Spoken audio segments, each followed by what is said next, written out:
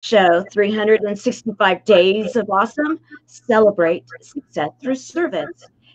And right now i need to ask my guest to turn down his his i'm hearing um I'm hearing our my voice, and so I don't know if maybe what's going on with the computer, but we're having a little bit of a feedback issue. And so anybody that comes here, we're gonna I'm gonna ask for some feedback on the feedback. Uh, so, but let's continue with the show. Uh, this is 365 Days of Awesome. Celebrate success through service. We are today going to be visiting with our service hero, Brian Bogert. Brian is a man that I was actually introduced to by one of my leaders within the organization that I run, Chemo Buddies for Life. She said I needed to meet him. She's met him in her local marketplace. She said this man is doing a lot for a lot of people and he's serving your community among others. So, at the very last minute on Giving Tuesday, we found a spot for him to come in and share Today, we are going to actually be talking about what is happening now, today, April the 9th, in 20, the year 2020, because many of us, all of us throughout the world, are experiencing some changes, some shifting. And it takes perspective to sometimes be able to see how we can together get through this. And that is what Brian's all about. So, welcome today to serve. Thank you very much. Um, I'm, I'm excited to be with you. I love what you're doing. Um, I'll ask real quick since you said there was a little feedback. Has that seemed to eliminate so far? Yeah, every, everything is perfect now. Okay, it perfect. sounds perfect. Yeah. Yeah. So I'm excited great. for our discussion today because it's uh, you know there's a lot of people right now that um, need a lot of help, and the only way we yeah. get through this crazy uncertain time is together. So. Exactly. Exactly. And that's why I brought back Service Heroes because Service Heroes was on a little bit of a hiatus. And and uh, one of my coaches, Jason Cisneros, he had put it out there. Okay, any kind of positive uh, programming, anything that we can be doing to inspire each other, we need to do it now. So I thought, okay, let's let's get Service Heroes back and let's really check in with people that are making a difference right now. And that is what you're doing. And I really want to respect also the fact that you're a humble man and you're not going to and i want this on the record everyone we're going to be talking about how brian is making a difference and inspiring others to do so and we're not going to be doing it in a, a bragging way this is an educational way an inspirational way because this man believes in giving back and sometimes the people that do are some of the most humble that i know that's one of the reasons I started Service Heroes because not always do we hear about these amazing stories and people that are out there currently making a difference on the front lines. And you are. I want to welcome Helene Wilson. Helene, one of our chemo buddies for life, one of my buddies. I'm glad you're here with us today. Brian, let's talk. You are in the, you're right now. And in fact, I had to ask because it's like, okay, are you at a gym? and, and you explained to me what?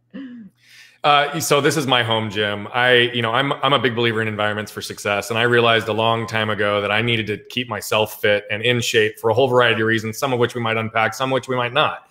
But the reality of it is I don't work well in big box gyms. I don't get motivated well. I don't I don't have the energy. I don't push myself as hard. And the only thing I can't create more of is time. And so the pure fact, the hurdle of having to get in the car and even if it was 10 or 15 minutes each direction, by the time I'd get there and get set up, I'd waste 45 minutes or an hour of my day.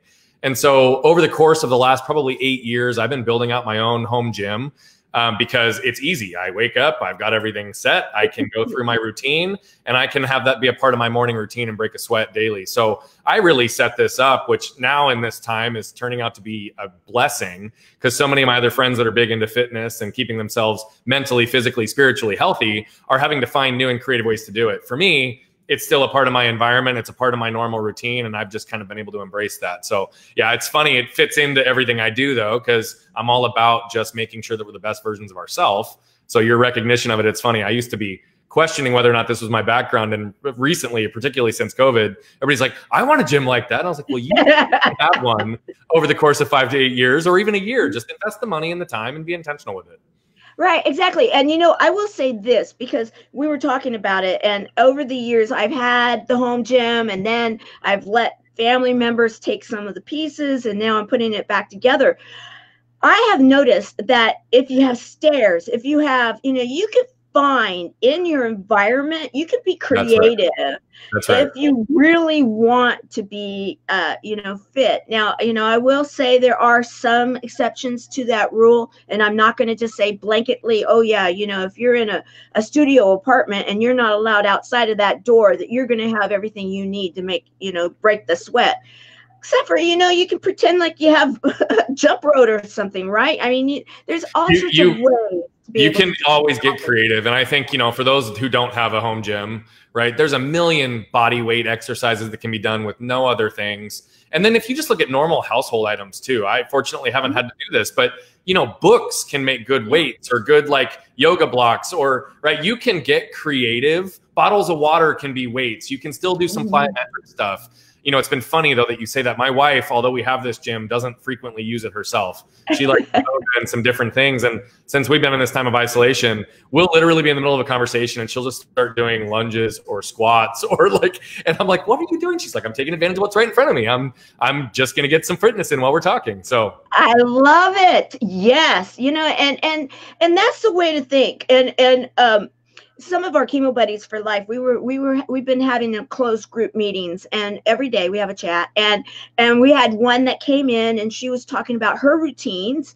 And this is a person that uh, you know she's got she's got a lot of challenges going on right now. She's involved in in um, you know studies and and she's in active treatment. Yet she has a two hour routine that she gets up and she's in her you know kitchen and she's Yeah. doing exercises on the counter and she's doing all these things because it's the it's the heart, the mind, the soul, all of it coming They're together with the body. Right, exactly. Yep. To be able to heal through this period of time. So I love it. I love it. I love it. Now let's talk. You mentioned possibly unpackaging or not. And I do want to go into some of your past to then bring it to the future and, you know, or to today. Uh, when I learned, because I, I knew that there had to be something that I needed to know about you, and I was desperately trying to get all this information. And when I found out, it was like, okay, I am getting it now. You were young and you had an accident, right? mhm. let's let's talk about that because and and let me preface this guys. We right now are in a period of time of what happened.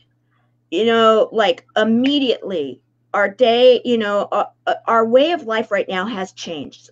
Let's just be honest it's slightly different than it was because of an event uh, uh, something that is going on in the world many people can relate to this because anybody that's heard you have cancer and you work with a lot of people in your area and we'll talk about that. You, you know it could be anything that has all of a sudden changed your your environment.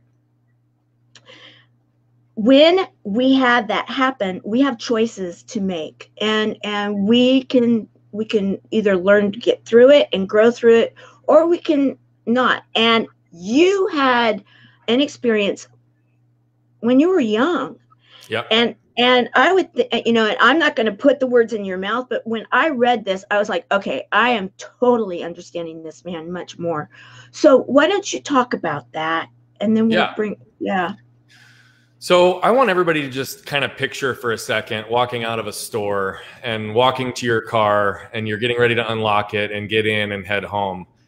And you turn your head and see a truck barreling across the parking lot at 40 miles an hour right at you with no time to react. That's kind of where this story starts. My mom and my brother and I went to the store to get a one inch paintbrush.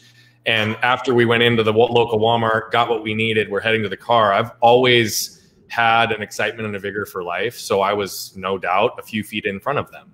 Mm-hmm. I got to the car first, and my mom and brother were a few feet behind me. As I was standing there waiting for to unlock the doors, a truck pulled up in front of the Walmart um, that we had just walked out of, and the driver and the middle passenger got out. The passenger all the way to the right felt the truck moving backwards, so he moved over to put his foot on the brake, but instead hit the gas. Combination of shock and force threw him up onto the steering wheel, and I know now you all know and see where this is going. So before you know it, he was 40 miles an hour across the parking lot, went up and over the median because we were in a corner spot, went up and over the tree in the median, hit our car, knocked me over. And what we believe is that I was holding onto the handle um, at the time that it took place. And so it threw me to the ground. I tumbled underneath the truck. It ran over me diagonally and tore my spleen. I've got a tire track scar on my stomach today and continued on to completely sever my left arm. So this is where it came off and it threw it 10 feet away from me in the parking lot. Fortunately, my guardian angel was there and she walked out of the parking lot. It was a nurse who watched the whole thing happen and she knew exactly what to do. So within minutes, she was there to stop the bleeding and focus on saving my life but she also was there to instruct some bystanders to run into the Walmart, grab a cooler, and fill it with ice from the convenience center. And my arm was on ice within minutes. And this wow. was August 10th um, in 115 degree heat in Phoenix, Arizona, while we're laying on the asphalt, which adds even more. And the first uh, ambulance that got called actually got into a car accident. So, as if it wasn't bad enough, it started this whole process of really just starting to recognize how do we put this to, how do we put this kid back together and so um, that was kind of the beginning of my story. And I won't bore you with some of the other details in the middle of it, but I will tell you that a lot of those post accident years I lived and experienced in a fog, but my parents certainly did not. They sacrificed countless hours of their own comfort ultimately to save me. Right. We had three days a week of physical and occupational therapy that started at 6 a.m. And my mom had two young kids, getting them both up, get going to do this right before school all the hours of rubbing vitamin E oil in to make the scars soft and muscle stim and therapy for years. And so what they ingrained in me, which I didn't realize far until far later in life, is not just a concept and a lesson, but a way of living. What I learned from them is to embrace pain to avoid suffering in my life. Right. And one of the other most important things that I also experienced and what I learned is I learned not to get stuck by what had happened to me, but get moved by what I could do with it. So I learned to embrace pain to avoid suffering. And I learned to not get stuck by what had happened to me, but get moved by what I could do with it. So when, when you talk about unpacking, right, the reality of it is, is this is a great and perfect example. What I realized is I had a physically active life throughout most of my life. But as I got into my 20s and some of my activity levels started going down, my pain my chronic pain because the right. imbalance in my body. I don't have a lat on the left side of my back. I've got a curve in my spine. I re-injured mm-hmm. and almost lost my arm when I was 20 in a snowboarding accident. Went 10 months with it hanging by my side. But what I realized early in my 20s, Tamara, was I was starting to get increased levels of pain in my back in a place that I couldn't control it. Right. And so I had to make some changes. And mm-hmm. that's when physical activity and food and nutrition and recognizing how those all correlate to where I was at, I was starting to experience suffering. The pain was so bad. Right. And so what I realized if I keep myself lean, if I keep myself active, if I keep my back as strong and stabilized as possible, if I keep all of my muscle structure in a good place, if I can do this regularly consistently and I can move, then that suffering just becomes an, an annoyance, right? It's no right. longer suffering. And I can mm-hmm. put myself in that position. So, you know, this is a great example. Many, many people, right? You can make the decision to get up an hour early to work out before you go in. Your friend that you just talked about who's got a two hour routine and do this right. because it keeps you active and focused and energetic and, and strong. You can make that choice. You can also embrace the pain in doing so or you can lay in bed for an extra hour. And the compound effect that over time is going to ultimately result in aches and pains and a sedentary lifestyle. And mm-hmm. that is suffering, right? And so that's kind of a big concept and philosophy in my life. And that's just been influenced in so many of the things that I've done, largely because of the lessons that were ingrained in me by the way I was brought up and the experiences I had. So. Wow. I, I, mean, I am right now just even hearing more of the story and how it unfolds. And thank you for being such a good storyteller because that's one of the things you do. You get up on stage, you talk, you yeah. you share, you you are out there to motivate and inspire, and you do, you do. And and we're gonna go into that. In telling the story, I I I feel as though I'm there and and i hope that those that are watching the show please hashtag live hashtag replay. Please tell us what you got from that. Because where we're going today the trip that we're taking today on service heroes is that we are we are we are highlighting Brian, but I also am going to encourage, and I have a feeling Brian is going to encourage with me and stand in unity with me that we are going to encourage all of you to find the service hero inside of yeah. you today. Because that's what both of us are all about in the way that we see our missions in this world. And and that's why i i felt like okay yeah i can just kind of like put it out there and he'll be like yeah okay we're good yeah, with that's, that. that's that absolutely 100% yeah everything good. starts and ends with each one of us right? Absolutely and so you know i recognize that i have a very unique story. Yeah. um but what I've realized in all my time of doing this is that we all have unique stories. Yes. So what's really important is that we take the time to pause and recognize what are the lessons that we can learn from those stories. And we need to move those into conscious awareness. And then we have to become intentional with how do we apply those stories into our lives? And how do we tap into the collective wisdom of all of our stories? Because again, as is the case in anything in this world, it all starts and ends with human connection. It all starts and ends with us.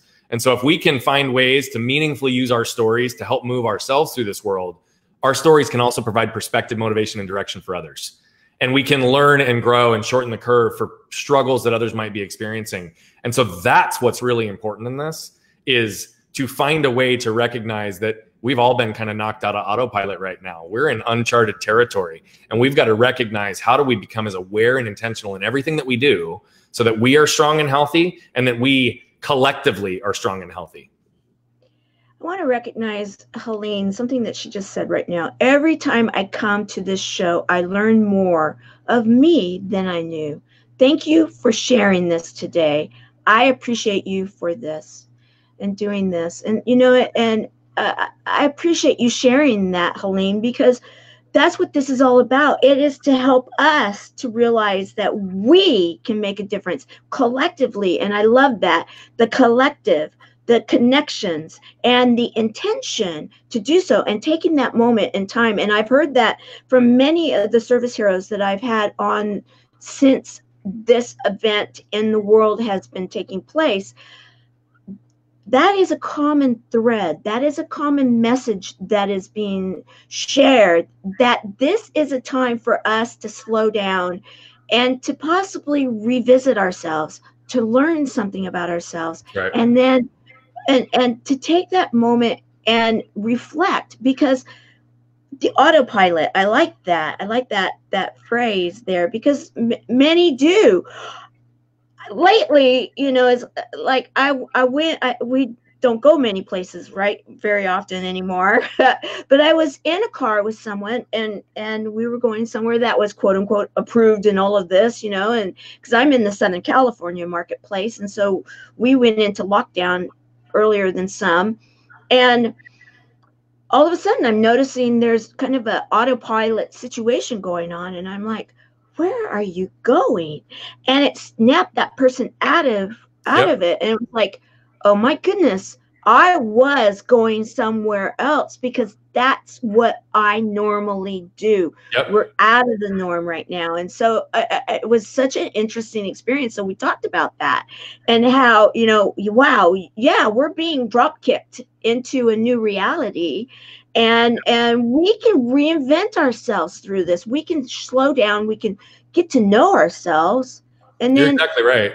I mean the reality of it is it's like you know so there was a study that was done back in 1986 and for whatever reason i'm having a brain block on the the doctor who ran it but it was really on this idea of self-awareness right? And the unconscious versus the conscious mind. And the stat that jumped out for me in that study one of the biggest takeaways is that our minds process 11 million bits of information per second but we're only consciously aware of about 40 and so what that yeah. says is that we're largely led by the unconscious. So on this idea right. of what we're talking about, we are products of the patterns, habits, and things and how they unfold in our lives, the conditioning that takes place. To your point, those autopilot moments, how many people get up, get ready, go to the office, 90 minutes has passed in the morning, and they have no idea what exactly happened because it was all conditioned and automated. There was no active thought process. And so, you know, a whole lot of people right now not just because the heaviness and the emotion of what's going on, which is a important piece we need to pay attention to, yes, but yes. largely due to the fact that we're just experiencing fatigue in general right now.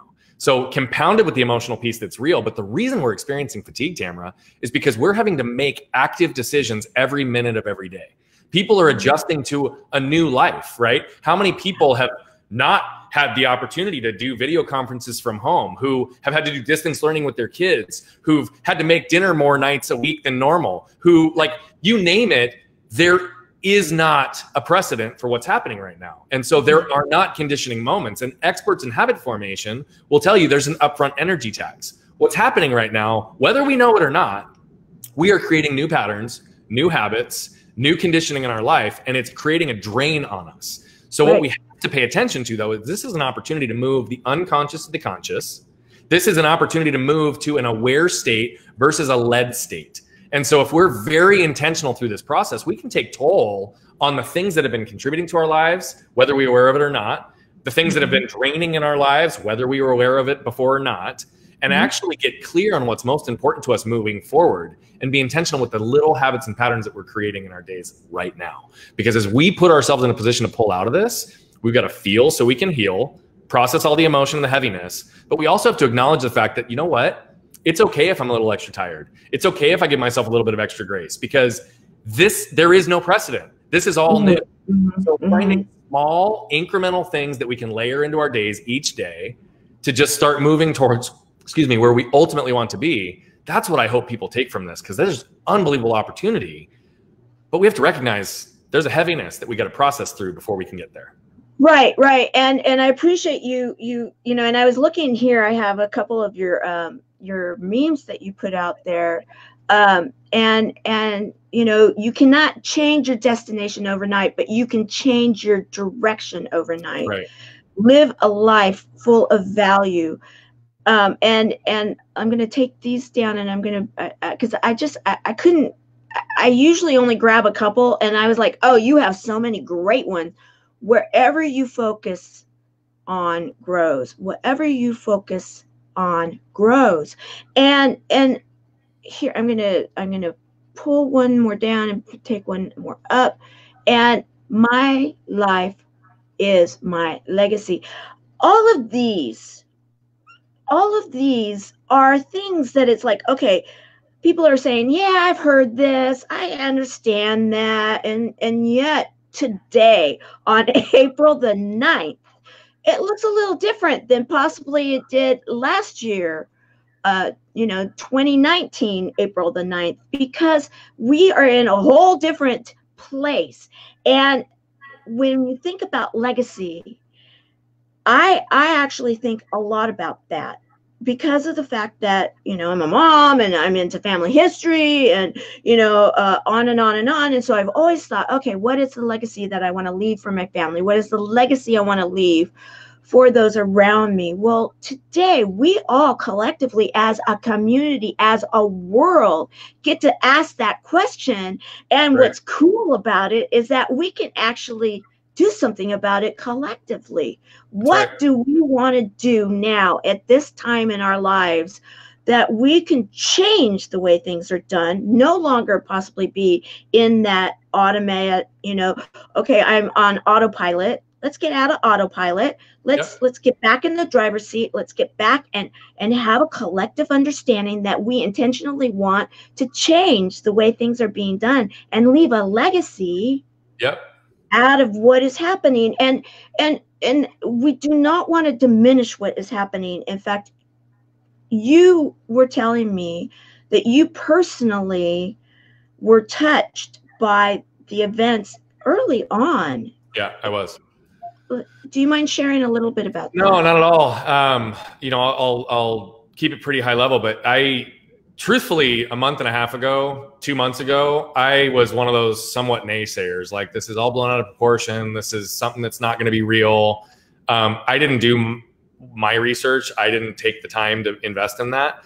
But as it continued to get closer and closer and closer to what we're calling social distancing at this point, right? right. Um, I started to see much more signs. And early in March, um, I started following one of my friends from college uh, that ended up getting infected with COVID 19 was on a business trip, was at Disney World, and um, there was just a pattern that started to evolve in the communication outward. Um, ultimately, it ended in him being intubated in the ICU, and we were all hopeful that everything was going to take place. But on the 19th of March, he actually passed away. Um, 34 years old at the time, he was the youngest one in the country to pass of COVID 19, and so he caught all the attention of all the media. And it was actually a shame because everybody started pulling stuff off his Facebook page as it was a credible source, and his family had to shut down the page. Um, but it made it real. Um, you know, I had not communicated with him a lot in the last couple of years. So to be perfectly honest, it's not like I was experiencing the immediate loss of something in my life, but I was definitely experiencing the loss of his soul and the connections and the memories and the things. But what made it uh, even more powerful is how real this actually was this is going to touch people. I think by the time this is all done, you know, hopefully if we're successful in social distancing, this won't be the case. But I think by the time this is all done, there's a good chance that each one of us is going to know somebody that's been affected by COVID 19. Um, I think there's a really good chance that the impact of this can be greater and longer than many of us expected in the very beginning. And so I just use that as an opportunity, frankly, to kind of leverage and wake up other parts of the society to recognize that this is real. We originally thought it was our grandparents' right disease, and that, that that many of us who were between the ages of 30 and 60 would be perfectly well, you know, fine. But that's not how it's turning out to be, and we're recognizing that there's a lot of people that are are getting hit by this. So. Um, you know, I struggled right away to recognize like what is it exactly that I was experiencing. And I read an article a couple of weeks ago that really started to bring this home. A lot of what we were all experiencing in the very beginning, whether we chose to see it that way or not, was grief. Mm. We were grieving the loss of life as we knew it. We were mm. grieving the uncertainty of life that we believed our future was going to look like. We're grieving the loss of, of finances right? We know that a number of people have been impacted financially. Geez, you look at the numbers, and up to this point right now, there was 3.3 million people who, who applied for un unemployment three weeks ago, 6.9 the following week, and this last week was 6.6. The largest week in our history in the United States was 987,000. Before that, it was in the mid 80s. So mm -hmm. we've had 15 million people nearly, right? I didn't do the math in my head, but it's roughly close to that apply for unemployment in a matter of three weeks of this happening. So we're experiencing the loss of certainty. We're experiencing the loss of like our friends being impacted by this. We're experiencing the loss of lives around us, whether we know them or not. And so just recognize there's stages to grief. And we got to give, again, that goes back to my point on giving ourselves the permission to process um, mm-hmm truthfully, right? I was impacted by this. It rattled me in the first couple of weeks. It didn't hit me right away on the day that it happened, but the following week, it sent me into a dark place. And I had to mm. really apply a lot of effort emotionally, mentally, spiritually to start incrementally getting myself to get back up because those early indications of depression hit me hard. And, you know, I'm just going to be vulnerable when I tell the world this. Like, none of us are impervious. I work with people to make sure they're strong mentally, emotionally, spiritually. Like, I try to get people to be their most authentic selves and make sure that they're really in a great place and implementing the daily practices they can to embrace that. Guess what? Even though I do this, I'm impacted by this, right? We are all impacted by this. And so um, I think that's really the big takeaway is I just want people to recognize there's a lot of people who are suppressing mm-hmm, mm-hmm, aren't processing or acknowledging, or they're like, oh, this sucks. But then all of a sudden they realize they're watching four and a half hours of Netflix or they're eating everything in sight because it's a way to deal and process.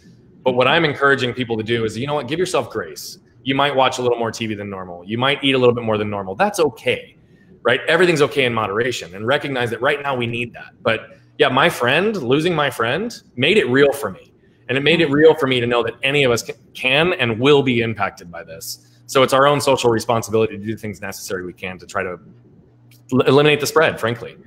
Right, right. And thank you for sharing that because, you know, the when you shared with me before we went live about your friend and the age, because you know in truth i have wink wink i have kids that are that age and yeah and you know and when all of this started of course i immediately went to my community the those that we serve that are affected by cancer one way or another. And you know and and and yes we know that anybody that's in active treatment right now they are one of the ones that we need to really be protecting. Right. and so i went there immediately. However when you were talking about your friend and the age and everything i'm thinking okay i family. We have family. You have yep. friend. You know, this was your friend. One of my board members just lost his mentor um, yep. two days ago, and and and then created something for it because it was saying that you know I all of a sudden felt lost that you know this person felt lost and yeah. and didn't know how to process it and so actually put it in you know put yeah. that energy into a, a creative place we are and and that is part of what being a servant being a service hero being someone that has been a servant for a while and you are and you serve quite a few different types of communities and we're going to talk about that in a moment and how others can also do the same. When when you start to realize that right now collectively and and I like the way you put that even though it's hard to hear is that in the end it's going to be like those numbers with cancer you know one in every two one in every three and then you have that person that is their friend and then you have a, a, a system a program that helps both. That's 100% of everybody in the world basically right. we now are in a situation with covid that it's basically 100% of the world we need to be aware we need to be following common sense we need to be flattening the curve all of the words that they use and they're educating us yeah. however with that said i love how you put this is give ourselves grace. Give ourselves that ability to say, okay, right now I'm feeling this and it is okay to be feeling this. Yep. And and then be able to and I love again a lot of what you share on your page. I can I will is a mindset. Yep. And and I thought how beautiful is that because you know I can I will. And uh, Chemo Buddies for Life, one of the songs that's been created for our community, it started as um, I will, I will, and now it's I can, we will. You know, yep. I can and we will. Yep. And and I thought, oh, I love this mindset because I can, I can and yeah, I may be behind the walls right now. I may be behind the door. I might be behind the glass for my own protection. However, I will, and then collectively, we will get through this together and we can be as strong as that lion is right there. That's right. But but the part I want to acknowledge is that it's an evolution. Yes, absolutely. There's not a, a final destination in every case. And so there's this there's this new thought that's been kind of flowing through my head and i actually just talked about this on the, the last call i was on right before this so it might come out a little raw but bear with me for a second because i think it's relevant at the moment um, in the very beginning of this i think what was interesting is i think what we were all experiencing as well was just the uncertainty that was starting to be created in our life and uncertainty causes fear and shame and like inaction and all these things right and I think uh, in cer- uncertainty in the very beginning is like, okay, well, is this real? Like, are we just social distancing for purpose of doing it? What does our future look like? What's going to happen to the economy? What's going to happen? Like, and the reality of it is, I think we are now shifting to a certain place. We are certain that this is happening. And so, what's really interesting is that the only thing certain right now is uncertainty. And we've gone through this evolution of being uncertain on whether or not this was our new reality to we are certain that this is our new reality. Here's the crazy part about this thought process, though. So follow, follow with me for a second. Now that we're becoming certain that this is our reality, we're also becoming uncertain in our certainty because we don't know what the future looks like. Yeah. We don't know what's going to happen. But here's the key to all of that. A phenomenal book based on on fear. It's called Feel the Fear and Do It Anyway, and it's by Dr. Susan Jeffers. And I'm going to butcher the, the the the premise of it, uh, the exact three layers, but it connects to this thought she basically layers out that there's multiple levels to fear. And the most basic fundamental level, the root of it all, is the question can I handle it? Oh, that's good. If we overcome that, then it's not about avoiding fear, shutting down fear. It's about feeling the fear and doing it anyway. Uh-huh. And so, on this concept of uncertainty, I want to extend that thought process because I think what we can be clear on right now, what we can be certain on right now, is in this state of uncertainty, I am 100% certain we will all be okay.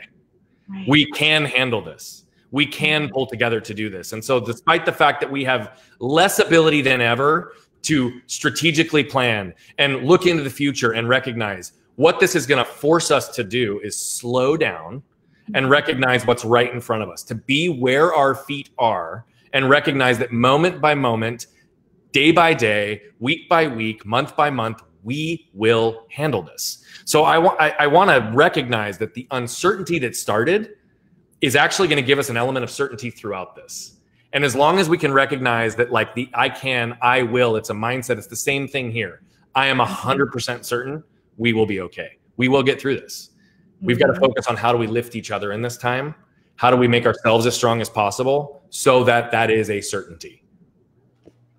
I love it. Very well said. And and I love the way you put that all together because you know uh, what I'm thinking of. It reminds me of that the back in the day. You know, I know that I don't know. I you know it's like okay that awareness. Okay, yep. now I have an awareness that I don't I don't really know, but I know that I will know and you know and it's it's it's that evolution and getting through this and and as they say when you're in any kind of a, a trauma situation that to acknowledge it is the mm-hmm. start of healing from it That's and exactly right. and and right now and the the whole evolution of the fear factor that you were talking about that brings in so much of of what I want to go into now because you you were telling me about an email campaign that you had not long ago. And there are so many people that are being affected by this throughout the world that are in different places. You know, we we mm-hmm. it's like anything in life. We we show up from where we were. You know, we show up that day yep. we are, right? And there are many that are coming to this situation that are are more challenged if you will because of where they were when yep. it all started. And and we need to acknowledge that guys because there's some that uh, and i will say you know that there are those that went out there and did whatever they did. We're not going to go there right now you do what you needed to do. And if you went and you bought a bunch of toilet paper and then you kept it, okay, fine. You shared it, okay, fine. We're not going to go there right now.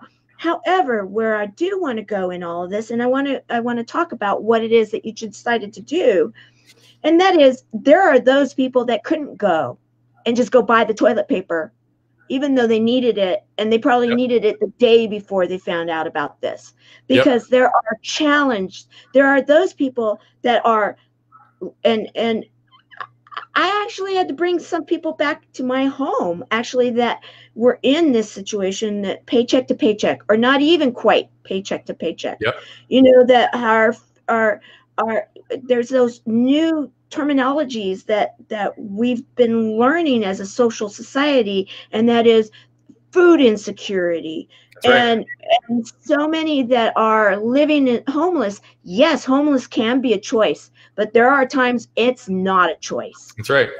And that population right now is a very um, they're at risk too and i don't know that they're necessarily getting quote unquote the press that that should be and the recognition that that they should be getting because of the fact that you know social distancing is not necessarily even a possibility for some because they're they're like yeah okay that would be a luxury right now i am yep. i am looking forward to getting through with my life where I have something to eat, that I can be protected from the elements. We have a cold front that's taking place. We have tornadoes that have just hit the ground. We have a variety of things that are happening today on April the 9th, 2020, throughout the United States and throughout the world that our environments are not necessarily in a great place for someone that's having these issues. And you decided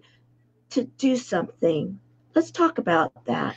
Yeah. So again, I'm, I appreciate the caveat you gave in the front of the call. I will reiterate that because, as you know, I uh, I don't typically like to talk externally about a lot of the stuff that I do. So I will share this only um, not to impress, but to impress upon the point that we're making here. And and I think that's a really important distinction. So just think through all this. You know, again, I won't go into crazy detail, but fear oftentimes manifests in a scarcity mindset. We saw that, right? We saw people going out and trying to stock up on everything and not just getting what they need, but getting like far beyond what they need. Um, and so, really thinking much more about themselves than kind of the collective good, and how do we actually get through this together? Because the reality of it is, there's limited resources, and we've seen the impact of that, right? Um, and so, what I do often is just out outwardly reach, right? So I look for people to connect with, do check-ins, see how they're doing, and in this time more than ever, I'm doing that at an even higher frequency. One of the organizations that I'm involved with is an organization called St. Vincent de Paul. Um, and St. Vincent de Paul has a really cool history. I won't go into all that detail, but the one in Phoenix is actually the largest St. Vincent de Paul in the world. Really? And so yeah, and they um, and it's a really phenomenal story. And in another another context, we can talk about this. Okay, we um, will. We'll, we'll bring you back on that. Okay. Cool. I, I mean, it's phenomenal, and I, frankly, I think you should talk to their chief strategy officer. One of the best development nonprofit minds on the planet, in my opinion, and has really changed the trajectory of that organization.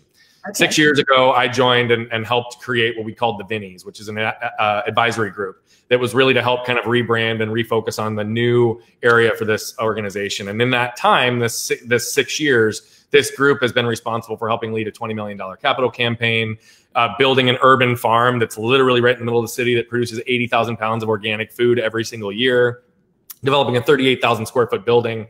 And again, I'm saying this very intentionally as the group and the organization and the staff did this. Right. Right. Okay. But it's an area that we serve and they focus primarily on the working poor, right? Those most vulnerable people in our society, the ones that need help. Often it's just a paycheck uh, gap or paying a power bill to get them back on their feet. And they focus so much on sustainability versus dependability and getting people to stand on their own two feet. And shockingly, to your point, the majority of people that they serve are those that don't actually want the help, but they yeah. need them and so right. they put themselves in a place where they set aside their own ego and do what they need to do for their families and for society.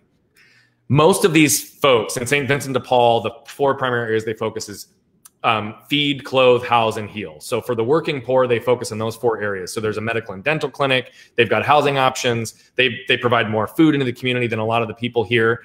Um, and they typically serve 4,500 meals per day um, in their main dining center. So that just shows the general volume. They've got the largest commercial kitchen in the state of Arizona as a nonprofit, which is crazy to think about. Yeah. So you're entering into this, right? I see this behavior starting to manifest in scarcity mindset.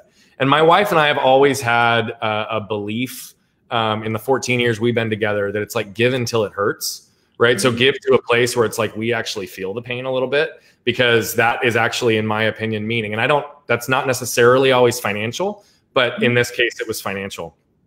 Um, and so I reached out and I talked to the chief strategy officer and I said, What are your guys' biggest needs right now? How is this impacting you guys? How are you shutting down? Because people sleep in your facilities, they bring their families to dine in your facilities. Like, what's happening? And they mm-hmm. started embracing the social distancing element. And he said, You know, we serve our people with such dignity typically. Their family dining center is literally, they are greeted at the door with a menu. The family is seated. They are given options so that it replicates as much as they can a dining experience versus going to a food kitchen. Right. And so they are so focused on high touch, maintaining dignity, getting people back on their feet. And he said, so the part that's breaking my heart more than anything is that everything we have to do now immediately removes some of that dignity and we're focusing on how do we actually serve people and we have to package these meals to go and people are picking them up at the curb but he said what's interesting is we actually saw the early indications on this because as it started creating noise people weren't necessarily thinking about okay i need toilet paper or i need this they're thinking about okay if i can't get access to food can i go now before it's gone and can I get a meal for my family before I know I'm going to need it in two weeks? Can I extend mm-hmm. my resources that I currently have? So instead of stocking up on resources, they're looking at how do I extend my resources as long as possible using all the things that are, are, are needed. So I said, What's your greatest need right now? And he said, Typically, I don't say this, but money. Because mm-hmm. right now we can't serve with the dignity, we can't be as interpersonal, but we need the money. And so I said, Great, awesome, let's do it. I walked, um, or I, I basically processed that for a day. And then I structured an email to our advisory committee the next day that outlined literally what is happening, right? We're worried about are we going to have toilet paper a week from now? They're worried about can I even feed myself or my family today? We're worried about are we potentially going to lose our jobs? Most of these are frontline workers in minimum wage jobs. They're probably already lo- losing their job or have, and they don't have any resources to sustain. And so I just outlined all these different ways of looking at how we're experiencing this, but how blessed we actually are. And can we find in our hearts to give? And so that was one of the rare scenarios where I actually volunteered and said, I'm going to donate a certain amount of money and I'd ask you guys all to match. And if you match and we raise X, then I'm going to donate, I'm going to double down on my donation and I'll do it twice. And so I was just blown away, frankly, because in three days, this group of 25 to 30 people raised about $15,000 and a number of people gave 500, 1000, $750 and we had people who gave 50 because that's all they could give and awesome, right? Like they embraced the idea of if and how I can help and literally giving until it hurt for themselves. And mm-hmm. so I couldn't be more proud to be associated with these folks because I, I threw a challenge out. They all stepped up. And in fact, two weeks later, we have more donations still coming in and they're talking about how do we get a second energy behind this? Well, mm-hmm. you know what that $15,000 provided is pretty significant because to serve and operate in that dining room for one day costs $5,500. So my challenge was, can we raise $5,500? And then it turned into $11,000. And now it's turned into, well, we're going to probably provide three days in the dining hall, which is going to be anywhere between 15 and 20,000 meals that this group was able to provide by operating from an abundant mindset, by operating from a mm-hmm. place they had perspective and realized that, you know what? Yeah, this does suck for all of us, mm-hmm. but it sucks really bad for a lot more. And if our most vulnerable population, if the bottom of our society falls out, especially in this time, we all feel it even more so. So, how do we stabilize the most vulnerable people in our society now and try to help get them through this? Um, and if we shift our mindsets to a place of giving versus a place of taking in this time, mm-hmm. I think the society is going to shift and we're going to be in a lot better place. So, I, I just viewed it as a way to hopefully help. And fortunately, it turned out the outcome is it absolutely helped you know and and thank you for sharing this. And that's why i did preface the whole show in the very beginning that we're going to be talking about some uh, some strategies some actual implementing of of making a difference. And we're going to be using some real stories. And many people that are out there in the front lines making a difference don't necessarily want to sometimes toot that own, own horn because that's not who they are. That's not why they serve typically they serve because they are not that type of a person. And so thank you for opening up because right now i'm i'm calling upon and if you guys are getting the message right now and i really want you to share this out. We need to be sharing it out to those people that are going to listen to what brian has done and other service heroes are doing now and say okay i'm feeling inspired I can and I will serve here. We all have a service hero inside of us. And if we're going to, not if, though, you heard him say, when we are going to get through this, but yep. we need to get through this. And when we were talking about the legacy, this is a time for all of us to step up and do our smart part. You don't have to be the leader if nope. you feel inspired to be, yes, it's a yep. calling. However, to be a part in whatever way you feel inspired, and I like the way you put it that you and your wife made a decision together years and years ago that you were going to collectively help and you were going to help until you felt it because then you knew that you were going to be making a difference out there in the world and and I know that you are, and I want to I want to go one more place uh, before we start to wrap. Up. Can I up. say one more thing on this point? I don't mean to interrupt you, but what you just said I think is really powerful, and I wanted to jump on it. I forget where the originator of this quote came from, but this is the most relevant time as ever. Not everybody has the ability to change the world, but everybody has the ability to change their own world. Yes. And so this idea of giving and reaching out it might not be the same way that I've done it. It might not be through an organization. It might not be raising money. It might not be having impact on tens of thousands of lives. But you can find people in your world right now that who need the help, who are isolated and solo and need that human connection. There are ways that you can show appreciation for our frontline first responders and healthcare staff that you don't even have to leave your house. So that would be my challenge on that is yes, embrace the concept, but recognize it doesn't matter how big or how small because your world is all that matters right now. And if we all collectively impact our world, we change the world together. Absolutely, completely, 100%. Thank you for uh, wrapping that up with a nice bow because the the the the concept here in my mind and what comes to me right now and i'm sure many of you are feeling like okay yeah i'm i'm getting that fire in my belly. I'm feeling this twitter in my heart. I'm feeling like you know pins and needles because you're waking up to the fact that yes you can do what you can do. And i'm thinking of of some acts of service even in my own home and that is as simple as helping one person or our animal and you know it's like okay an extra moment in time of doing something nice right. that changed the whole dynamics of the whole energy of the home that right. one act and and we sometimes don't give ourselves the credit that that actually could make a big huge difference. It shifted the whole energy. And That's exactly right. and and that is where each one of us can make that difference. And i keep i bring this card up a lot but something as simple as a card that i received right. from someone i didn't even know but i had my name on the rolls and they just checked to see how i was doing. That meant so much to me. I don't know this person. However i felt loved. I felt right. cared for and it was a huge thought. And and uh, uh, you know i i've now talk about it a lot because it made such a big Im- impact in my world. Of course. And now you know you mentioned something that you did with saint vincent de paul. You also did that within the area that i serve with cancer you just and i love this you're like a social disruptor in a way you know get, get in there and let's make things let's bring a new spin on things. You decided to get involved with uh, an organization that serves people that are affected by cancer, didn't you?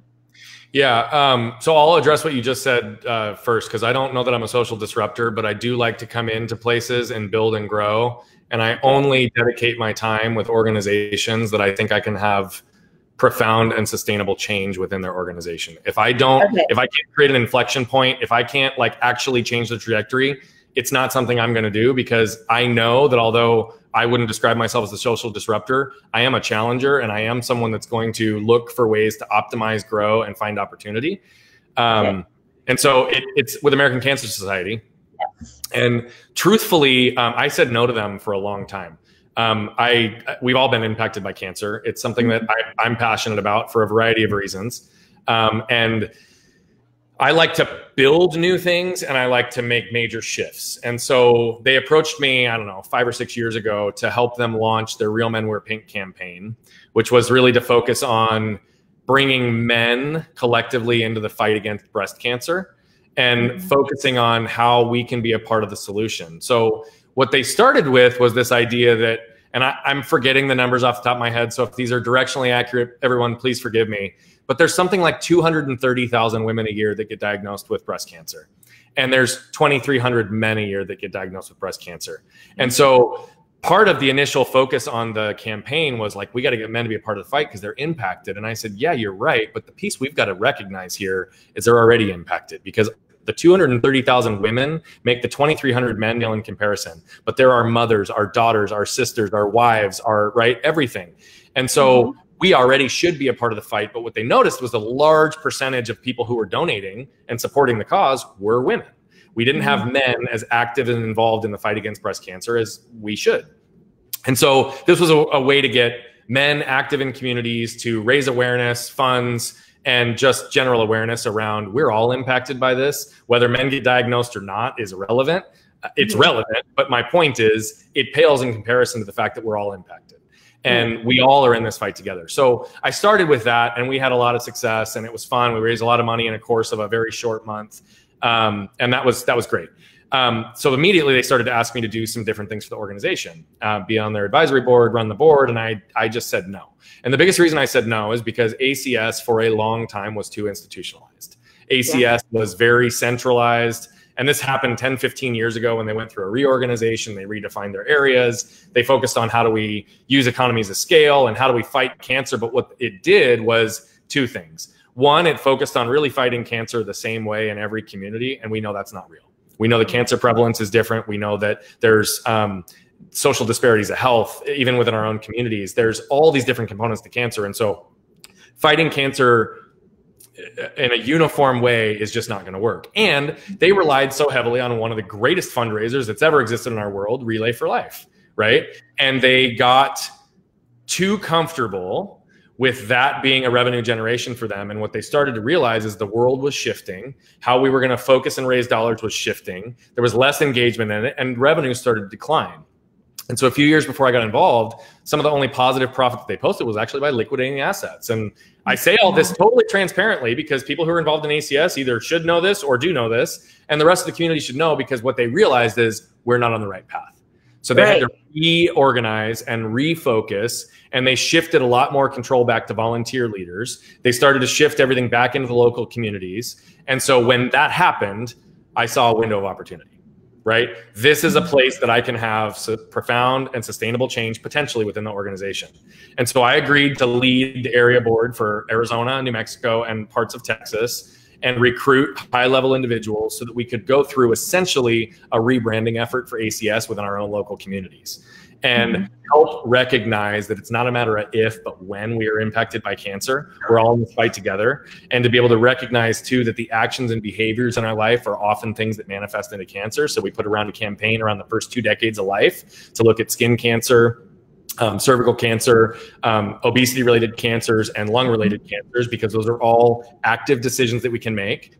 And we started to recognize how do we leverage our different partnerships because we've got the Heart Association and the Diabetes Association, and we're all attacking these same lifestyle issues. So, how do we cooperate and collaborate with people who are chasing the same types of behaviors that are just manifesting in different ways in different people? So, we put a lot of smart people around the table, people way smarter than me, and we sat down and we just started to think strategically about how do we do this? Are we serving people in the right way? Is acs still relevant? Where do we position ourselves so that we can maintain relevance? Because we do a lot that people don't even know about.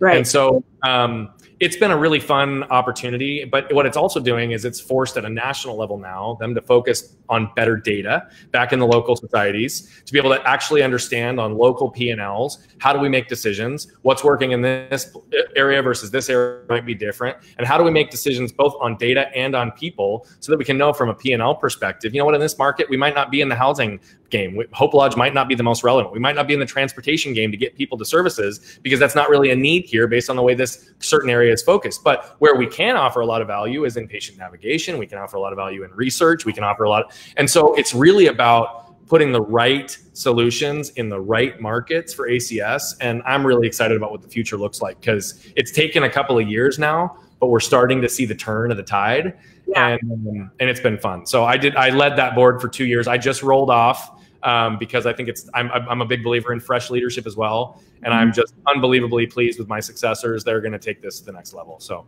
and I want to thank you for that because you know I will tell you this as a, a cancer survivor that and and in total disclosure i am now over five years and so you know Congrats. put it back then so not quite six years ago when i was going through it many of us that were, you know, going through it together, my little graduating class, if you will, we didn't have the best opinion at that time. And and it needed to have some shifting and changing.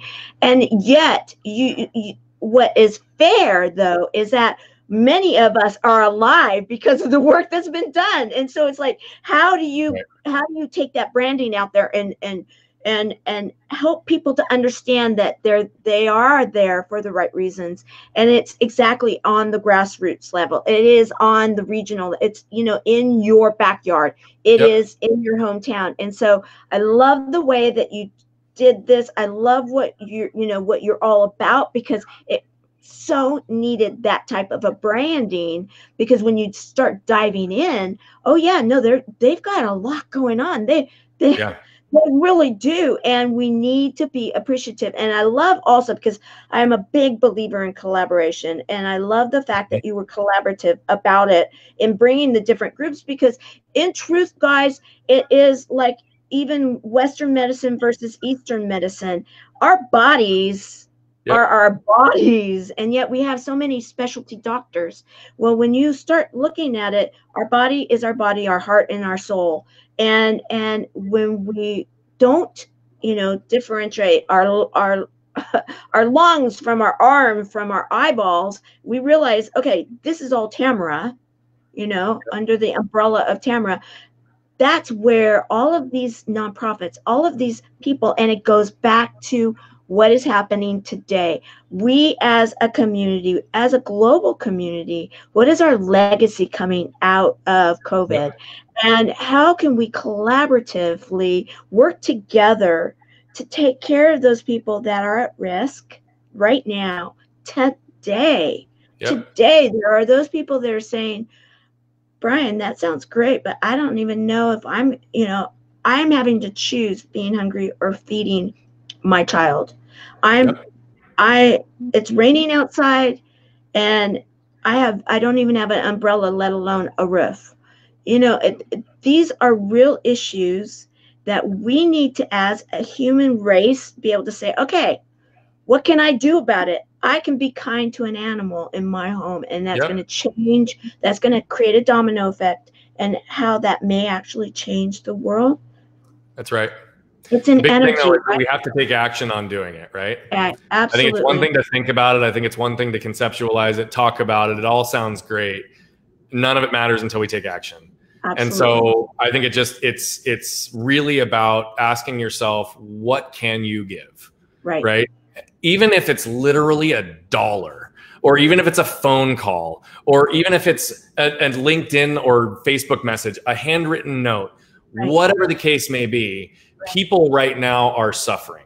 And so, going back to my original point here, if we can embrace the pain of the reality that we're in, we can embrace the pain of recognizing that we have to take action and do things that are outside of our normal right now. We have to embrace the pain of making extra effort, even when we don't want to, because we're ourselves having a hard time picking up the phone and checking in to see how other people are doing, right? We've got to embrace that pain to eliminate and reduce the amount of suffering that we're one experiencing now. And certainly that if we aren't intentional about right now will manifest into much greater suffering on the back end of this. And right. so please please please just that's what i would ask everybody. Take action and let's just start working towards this together.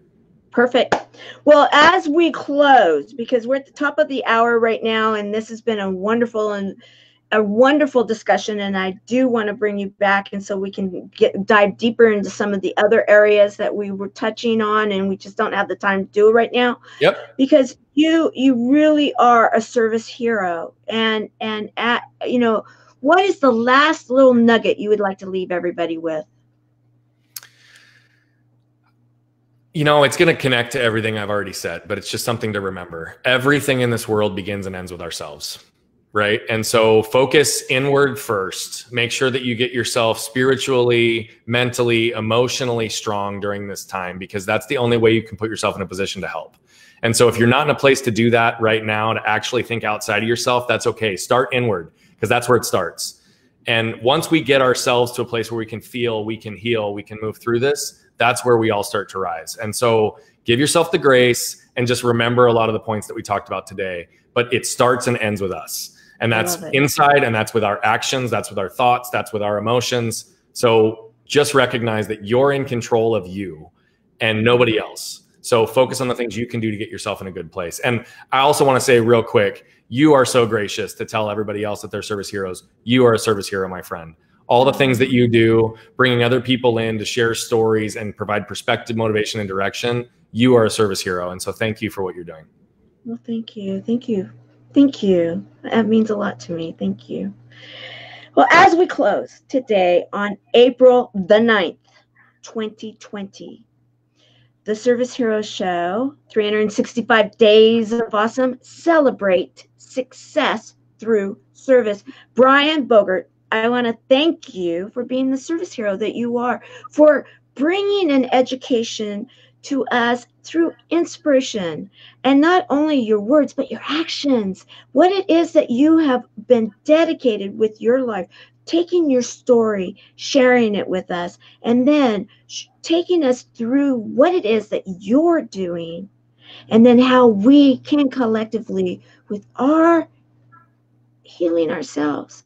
And then reaching out to others to help them to do the same. How we can change the focus of this world and leave a legacy that this day, April 9th, 2020, will be a time where people will say, wow, things changed. And Brian helped me to find out I have a service hero inside of me. So I want to say thank you for being an example to me. Thank have you. a great day, everybody. And and you know if you have not uh, anybody that has been affected by cancer, or if you're feeling isolated and alone, join our community at Chemo Buddies for Life. Uh, we have a closed group, and tonight we're going to be talking about Thankful Thursday. It's going to be led by Carol Brown and Barbara Beckley, two of our favorite leaders and volunteers. And we're going to be talking about being grateful and thankful and how we can help to take that out there and make a better place for others. And so, you know, how appropriate, how appropriate to piggyback off of today. All right, go out there and make it a great day, guys. Bye. Take care.